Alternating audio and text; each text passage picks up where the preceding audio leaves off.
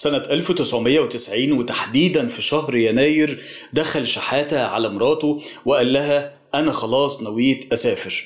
ليه يا شحاتة؟ ده إحنا معانا تلات عيال. قال لها يا أمينة علشان خاطر العيال أنا لازم أسافر. سافر شحاتة في شهر يناير سنة 1990 ست سبع شهور بالظبط وحصل الغزو العراقي الكويتي شهر في اتنين اختفى شحاتة. والقرشين اللي كان بيبعتهم كل شهرين ولا ثلاثة لعياله انقطعوا وانقطعت أخباره تماما. الله أعلم إيه حصل له. ساب الست أمينة مع عيالها الثلاثه بنتها الكبيرة مروة بنتها الثانية عزة ابنها الثالث جمال. قررت أمينة إن هي تعتمد على نفسها من بعد ما إخواتها بدأوا يتضرروا وقالوا لها خلاص الراجل راح وداخل له على سنة إيه اللي مقعدك؟ ما تروحي تتجوزي وتشوفي حالك. بدأت تحاول تعتمد على نفسها تروح تجيب شوية خضروات تبيعهم تروح تجيب شوية فاكهة تبيعهم لغاية ما ولاد الحلال وفروا لها وظيفة بسيطة جدا وهي عاملة نظافة في مدرسة. أمينة ما كملتش تعليمها أو تقدروا تقولوا إن هي ما اتعلمتش من الأساس لأنه كام شهر في المدرسة وأهلها طلعوها بسبب كثرة إخواتها وبسبب الظروف المادية وبسبب ثقافة الناس في الوقت ده. بدأت تعتمد على نفسها وعيالها يكبروا يوم بعد يوم لغاية ما كانت تاخدهم معاها وهي رايحة المدرسة. هي عاملة نظافة وولادها قاعدين منورين في وسط زمايلهم. عمرها في يوم من الأيام ما اتكسفت من شغلها ربت عيالها على إن هم ما يتكسفوش من شغل أمهم اللي كانت بتنظف الحمامات وتنظف الفصول وتروح تجيب طلبات المدرسين. كمان استغلت فرصة إن ولادها بيتعلموا وإنها موجودة في المدرسة وبدأت تقدم في فصول محو الأمية وبدأت تاخد شهادة وبدأت تكمل دراستها. كانت أمينة تقوم تفطر العيال وتوديهم لغاية المدرسة وترجع معاهم وتقعد تطبخ لهم لقمة وكلهم يقعدوا يذاكروا مع بعض هل تقعد في البيت تعتمد على الفلوس القليلة اللي بتجيلها من المدرسة؟ لا ده استغلت سطوح البيت وبدأت تربي طيور بدأت تبيع البيض وبدأت الطيور تكتر وبدأت ترقد فراخ وترقد بط لغاية ما الحال مشي. بدأت تاخد منطقة قريبة من البيت بتاعهم وتلف حواليها سور وتربي فيها طيور.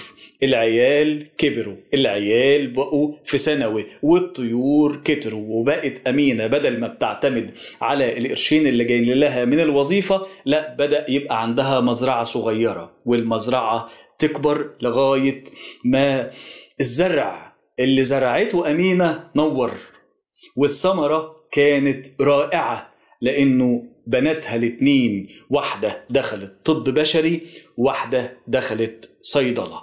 كملوا مشوارهم في كلية الطب لحقهم ابنها جمال ودخل كلية طب بيطري هو كمان.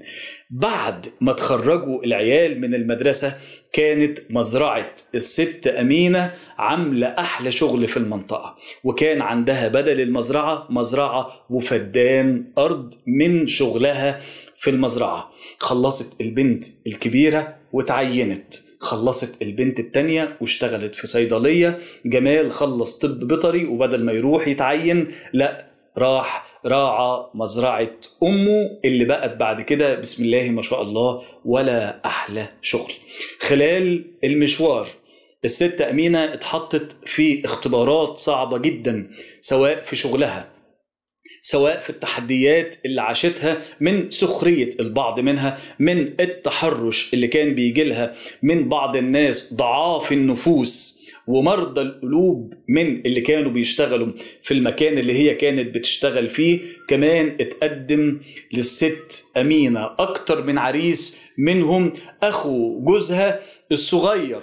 اللي لما جوزها سافر كان هو لسه طفل ولما كبر قال أنا أولى بولاد أخويا. طبعا ما كانتش فدائية ولا حاجة ولكن كانت الست أمينة بدأ يجري في إيديها القرش وكانت بتعتمد على نفسها. لو راح اتجوز واحدة تانية كان هيدفع شبكة ومهر ويجهز لا البيه الصايع. اللي ما كانش له شغلانة كان عايز يروح يقعد مع أمينة في البيت ومن غير ما يدفع حاجة ويتجوز ويعمل فيها ريس على الأطفال. الست أمينة قالت أنا النظرة في عين جمال بألف راجل ومش هدخل حد يتحكم ويمد إيده على بناتي حتى لو كان عمهم يوم من الأيام كان بيزورهم الأخ ده وبعدين بيزعق على بنت منهم وهي كانت لسه في المرحلة الابتدائية قالت له قطع إيدك اللي هتتمد على بنت من بناتي دول ما يخصكش مش قلالات الأدب.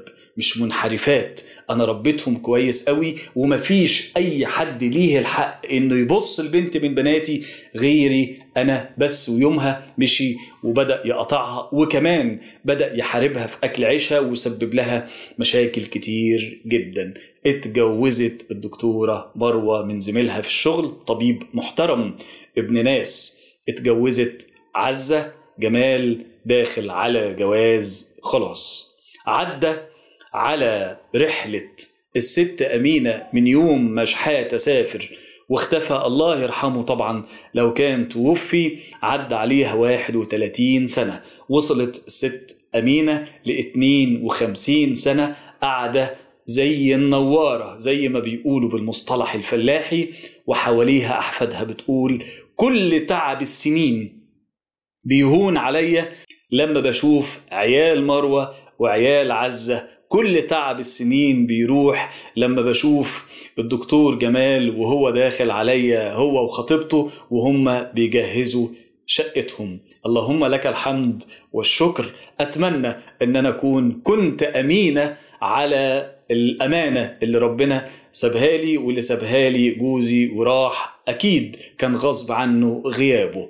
أشكرك يا ست أمينة ومهما قلت من كلام التحية والاحترام ما أقدرش أقول غير إنك مثال يحترم وقدوة أتمنى إنه كل الناس يتعلموا من قصتك معنا التضحية. ربنا يبارك لك فيهم في كل الدكاترة يا أم الدكاترة وربنا يديك العمر ويفرحك كمان بأولادهم.